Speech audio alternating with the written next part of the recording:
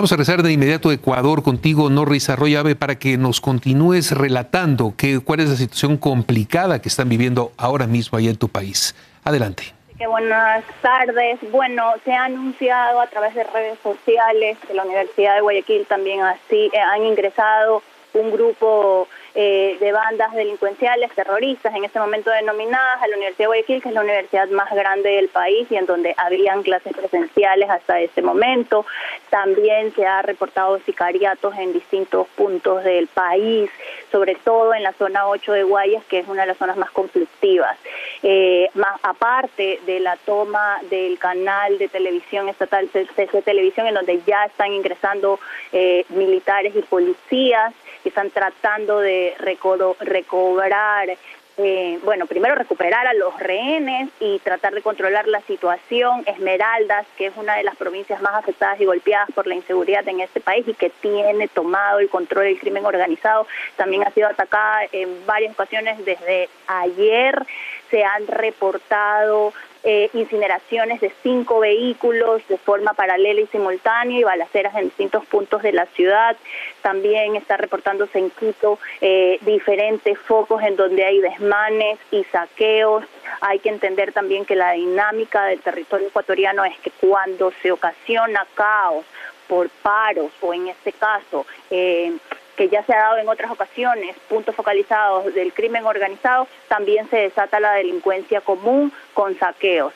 En Guayaquil también en la bahía, que, queda en el centro de Guayaquil y que es un punto de comercio entre informal y formal, se han se ha mm, anunciado y comunicado que existen distintos saqueos en el momento, al momento, en Manabí también eh, hay algunos, algunos puntos en donde se están desatando eh, actos delictivos y violentos.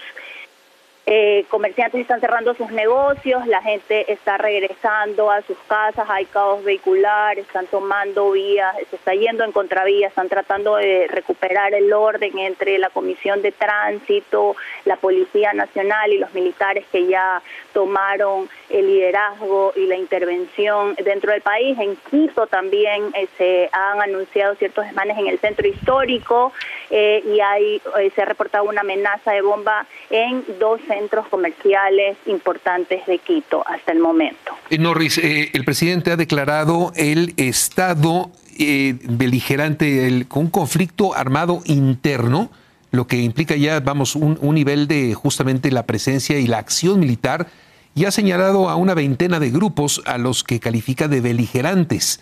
¿Esto qué implica? ¿Ya tienen claridad de lo que implica esto en cuanto a la actuación de las Fuerzas Armadas? Te explico un poco. Eh, hasta el momento, hasta hace pocas horas, estas bandas delincuenciales eran eh, eso, ¿no? Eran bandas delincuenciales y eh, estaban denominadas de esa forma, donde se las atacaba, pero entendiendo que sus acciones iban en contra de la propiedad privada y de ciertos ciertas áreas de la sociedad. En este momento se los ha declarado como terroristas. Estas son alrededor de 17 bandas que están siendo declaradas como terroristas y se les da total eh, autoridad a los militares, a las Fuerzas Armadas, para que ingresen al territorio nacional, tomen el liderazgo de la intervención eh, en cuanto al tema de seguridad y puedan atacar ah, y responder a, a estos grupos